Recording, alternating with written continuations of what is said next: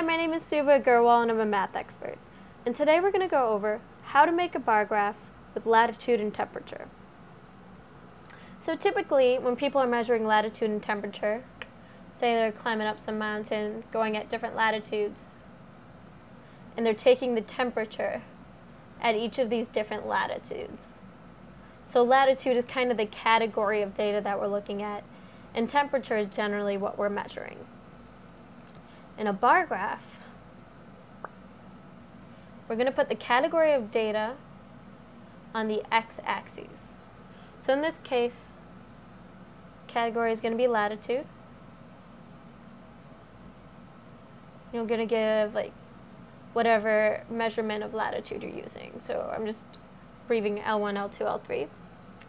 And on the y-axis, we're going to put what we're measuring, which in this case is temperature. Put it in degrees. Fahrenheit, you always want to include a unit of measure. So in this case, let's just make it meters. So for a bar graph, at each latitude, we're going to get a specific temperature, T1. We're just going to create a bar with the top of it at the value we measured. We're going to keep doing that. So for latitude 2, you're going to get some measurement T2.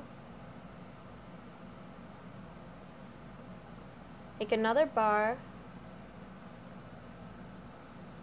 L3, we're going to have some T3.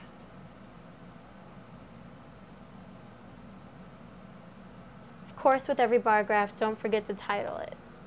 So this could be temperature at different latitudes. So remember category, what you're measuring, title, and then the bars themselves. And that's how you make a bar graph of latitude and temperature. My name is Subhah Agarwal, and thank you for taking an interest in math.